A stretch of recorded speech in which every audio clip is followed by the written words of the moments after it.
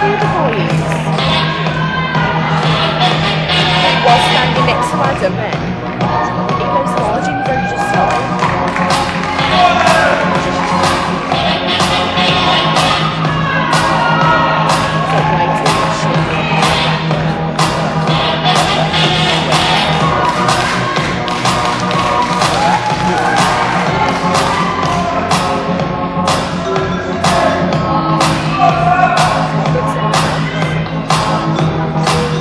Okay, relax, gentlemen, relax.